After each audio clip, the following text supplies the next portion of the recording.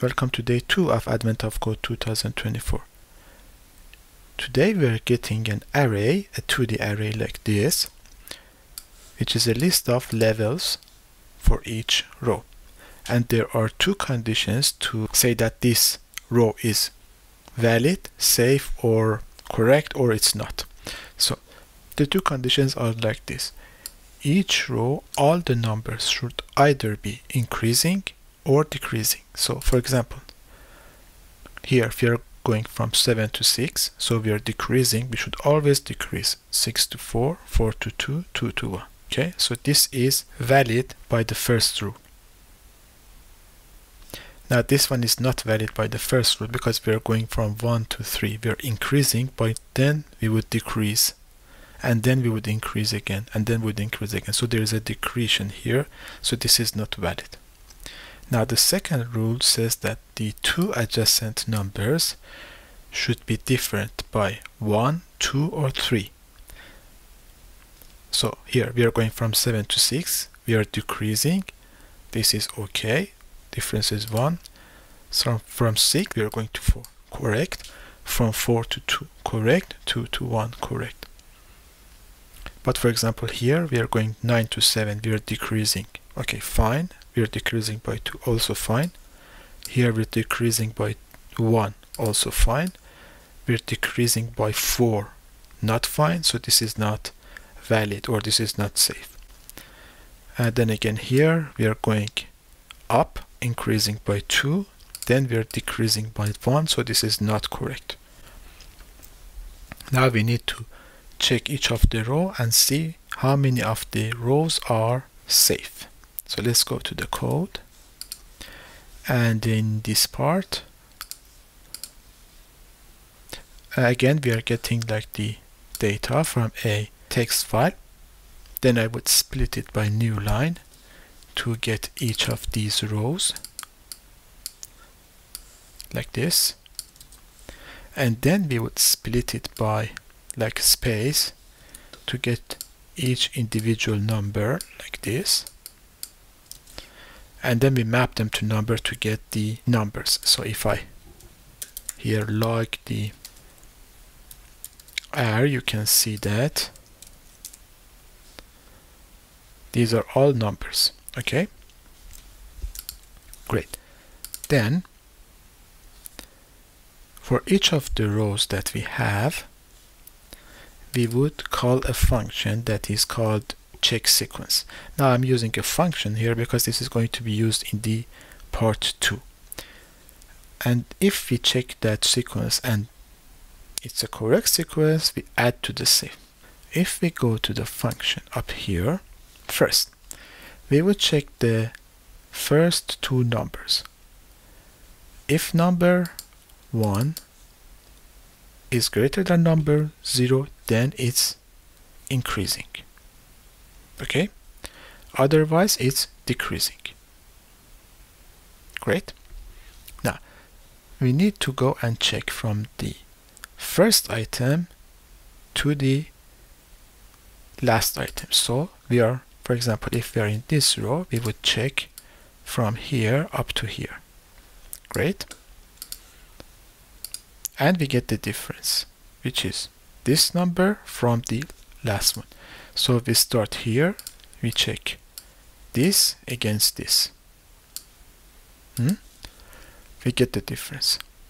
If the difference is less than 1 or greater than 3, then this is not a valid. For example, if this was 90, then it wouldn't be okay because it would be like 7 difference here. Then what else would be not okay? If we are increasing and then the difference is like negative which means that this is increasing as written here increasing but found a decrease or no change. Okay? So if for example here we are going from 97 to 94 and then here we go to 94 again this is not okay because we are not either increasing or decreasing or here if we go like for example 96 then it's not okay. Because we are decreasing here and we are increasing here although we're increasing by 2 and the same here. If we are decreasing and the diff is greater than 0 then it's not okay. Now if all of these have passed for one row then that row is considered a correct row and then we return true otherwise if any of this happens we just return false and we get out of the uh, sequence checking here.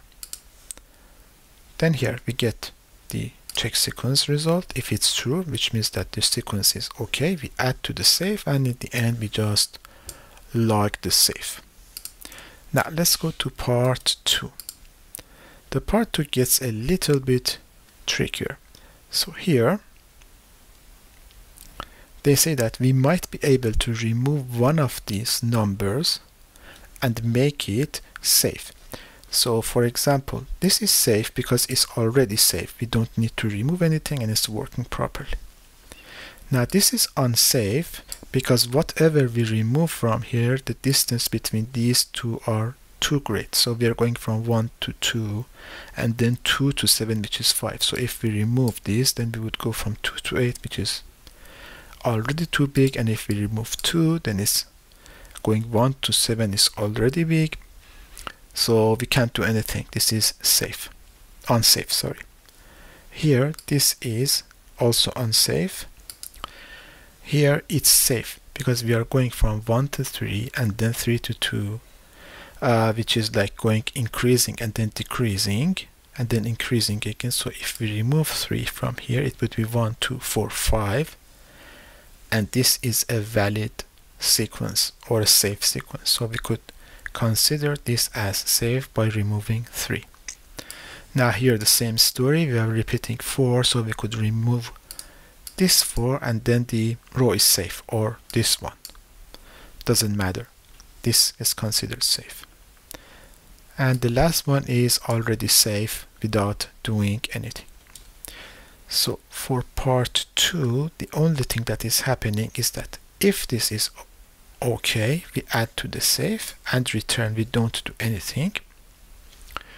Otherwise we go to the list and we create a modified array by removing one element from it. So we slice from 0 to i and then concatenate from the one item after that so this is like removing the item and the index i from the array. Okay. Now we get the modified array. So for example here uh, for this one we would go index 0 remove this one we get this array send it to the check sequence. If it comes okay then we check this as safe go on if not we remove this one. We get 1 2 4 5 send it to the array. If it's safe then we're okay. We go out of the loop. Now this happens here.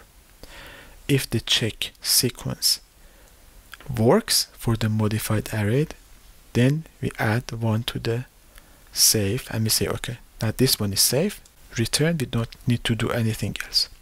And in the, in the end, after the array is finished, we can return the safe, which is in my case 354. Well, so yeah, this is for part 2 or day 2 of Advent of Code 20, 2024. I hope you enjoyed the video and see you in the next day.